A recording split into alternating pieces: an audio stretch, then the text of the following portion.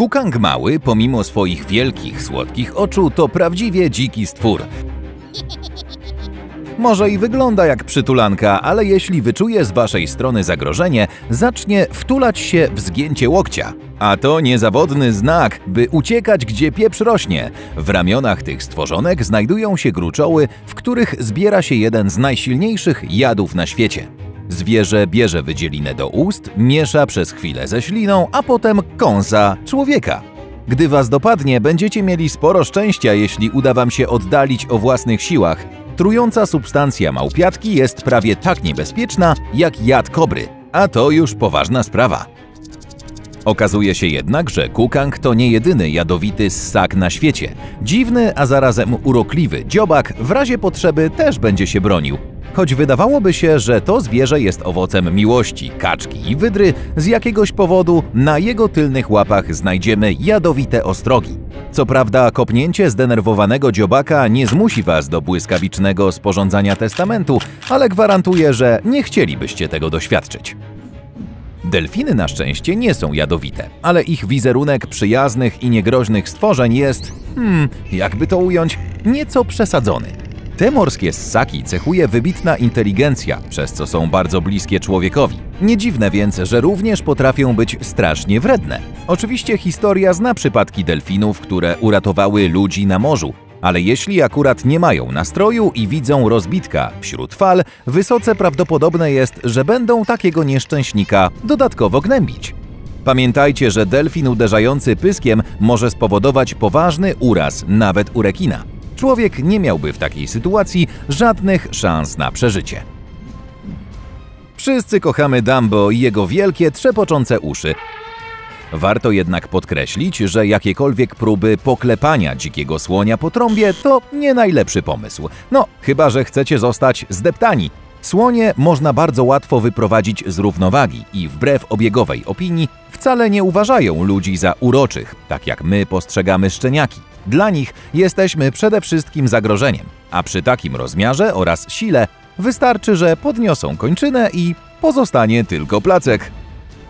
Mrówkojady, jak zresztą sugeruje nazwa, żywią się mrówkami i termitami. Nie mają zębów, więc nie gryzą, jednak nie rozpędzajcie się za bardzo z głaskaniem. Zanim to zrobicie, koniecznie zwróćcie uwagę na szpony tego osobliwego stworzenia. Ogromne, prawda? Mrówkojady wykorzystują je do kopania w poszukiwaniu pożywienia, ale nie zawahają się ich użyć, jeśli stwierdzą, że trzeba pozbawić was kilku palców. Lepiej podziwiać je z bezpiecznej odległości. Lampart morski wygląda jak wielki, puszysty morski kotek, ale jak sami wiecie, nawet mruczek może mieć gorszy dzień i dać się mocno we znaki. Te ssaki z rodziny fokowatych żywią się młodymi pingwinami. Można się więc domyślić, że zdenerwowane stają się dość niebezpieczne. Mają bardzo ostre zęby i są znane z atakowania ludzi, kiedy akurat nie dopisuje im humor. Lepiej więc nie wchodzić im w drogę. W wodzie lampart morski bez problemu was dogoni. Jeśli wybierzecie się do Nowej Gwinei, możecie natrafić tam na ślicznego ptaka, którego jednak z pewnością wolelibyście nie dotykać. Określa się go mianem fletowca. To jeden z nielicznych trujących ptaków na świecie. Tak, dobrze słyszeliście, jego skóra i pióra są pokryte silną neurotoksyną, która wywołuje odrętwienie i zasadniczo wyłącza układ nerwowy. To ta sama substancja, jaką znajdziemy u żab z rodziny drzewołazowatych, czyli kolejnych rozkosznych stworzeń, od których lepiej trzymać się z daleka. Samo wejście w kontakt z fletowcem sprawi, że zesztywnieje wam ręka. Miejscowi nawet nie polują na tego ptaka, ponieważ również jego mięso zawiera toksynę. A skoro mówimy już o jadowitych żabach drzewołazowatych, przyjrzyjmy się im bliżej. Czyż nie są urocze? Cóż, ten przyjemniaczek rozmiaru spinacza do papieru to jedno z najbardziej niebezpiecznych stworzeń na Ziemi. Członkowie rdzennych plemion zamieszkujących do rzecza Amazonki, udając się na polowanie, smarują jego jadem strzały. Wystarczy jedna, by powalić każdą zdobycz. Co gorsza, czasem nawet samo dotknięcie takiej żabki może doprowadzić do wyłączenia najważniejszych organów w ciele. Socące szopy często stają się bohaterami filmików na YouTubie, nawet jako zwierzątka domowe, i wówczas zazwyczaj nie są agresywne. Dzikie osobniki mogą jednak przenosić mnóstwo okropnych chorób. Lepiej więc się do nich nie zbliżać, nie ma co kusić losu. Jedno ugryzienie takiego zwierzaka może wysłać was w niezapomnianą podróż do szpitala. Szympans to kolejne zwierzę, które wydaje się bardzo miłe, dopóki nie wejdzie się z nim w bezpośredni kontakt. Te małpy są z natury agresywne i bez wyraźnego powodu wdają się w walkę nawet między sobą, nie wspominając o innych gatunkach. I choć są mniejsze od człowieka, mają o wiele więcej siły. Ponadto mogą się pochwalić wielkimi i ostrymi zębami. Kazuary to bez wątpienia piękne ptaki, ale w stosunku do człowieka bywają bardzo porywcze. Przypomnijcie sobie, jak mówiliśmy o mrówkojadach. Patrzcie na te szpony. Jeśli kazuar jest z czegoś niezadowolony, okaże swój gniew, kopiąc was wielkimi, ostrymi pazurami. A ten dziób? Konsekwencje byłyby jeszcze gorsze. Znane są przypadki ludzi, którzy poważnie obrywali w konfrontacji. Mało tego, niektórzy żegnali się nawet z życiem. I mimo, że teoretycznie da się je udomowić, kazuary dość łatwo się denerwują, a to znaczy, że w ich obecności należy zachować szczególną ostrożność. Kiedy wybieracie się nad okoliczny staw, żeby pooglądać przepiękne łabędzie nieme, jak majestatycznie i powoli pływają w pobliżu brzegu, weźcie pod uwagę, że prawdopodobnie akurat trwa ich okres godowy. Te wdzięczne ptaki zawzięcie pilnują swojego terenu. Jeśli macie w życiu pecha i w czasie godów podejdziecie do nich za blisko, samiec może się na was rzucić i poskromić swoimi wielkimi skrzydłami. Niestety, choćbyście się bardzo starali, nie wyjdziecie z tego bez szwanku. Łabędzie nieme są po prostu bardzo silne, zdolne wręcz, by połamać kości. I to będzie wasz łabędzi śpiew.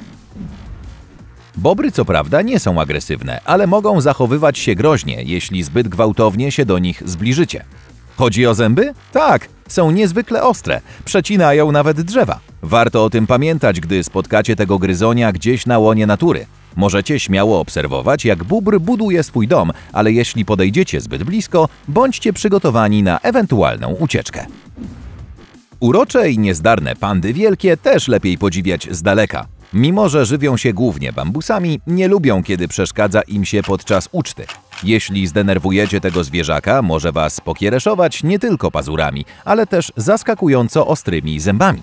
W końcu pandy są spokrewnione z niedźwiedziami, a pewnie nigdy nie przyszło wam do głowy, by pogłaskać dzikiego misia. Znam tylko jednego gościa, który to zrobił i dziś nie ma już ręki.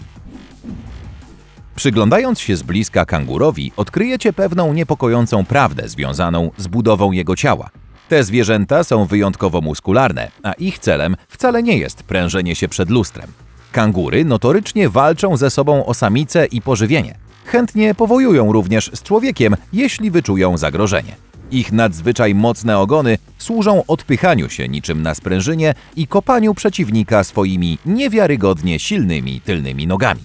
Jedno takie uderzenie i daleki lot macie za darmo. Nie wierzcie w to, co widzieliście w kreskówce o łosiu superktosiu. Łosie wcale nie są takie głupkowate i słodkie. W rzeczywistości atakują ludzi częściej niż niedźwiedzie, więc to, który gatunek jest słabszy, okazuje się kwestią dyskusyjną. Łoś przewyższa przeciętnego człowieka mniej więcej o dwie głowy, biega tak szybko jak koń i ma jeszcze silniejsze kopnięcie. A poroże, w razie czego przypomnę, to nie tylko ozdoba. Ryba rozdymka jest obłędna, umie się sama nadmuchać i tak dalej. Nie jest nawet specjalnie niebezpieczna dla człowieka. No, chyba że postanowicie ją zjeść. Lepiej tego jednak nie róbcie, ponieważ trucizna, która znajduje się w jej organizmie, jest 1200 razy silniejsza od cyjanku. Morskie drapieżniki przekonały się na własnej skórze, że z tym potworkiem nie ma co zadzierać. Z drugiej strony, w Japonii mięso rozdymki jest traktowane jako narodowy przysmak. Ale rybę fugu może przyrządzić tylko doskonale przeszkolony szef kuchni. Jedno złe cięcie i klienta nie będzie się dało uratować, a antidotum na toksyny rozdymki niestety jak dotąd nie wynaleziono.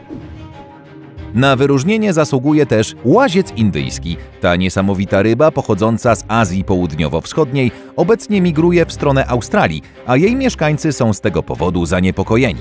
Kiedy łaziec zostaje połknięty przez inne ryby lub ptaki, rozciąga swoje skrzela na boki, przez co oprawca nie może złapać oddechu.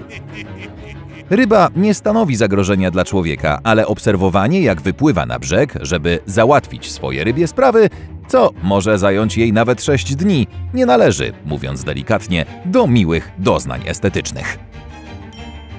Jeśli dowiedzieliście się czegoś nowego, polubcie ten filmik i podzielcie się nim ze znajomymi. Tutaj macie propozycje następnych, które też Wam się spodobają. Klikajcie i oglądajcie. Pozostańcie po jasnej stronie życia.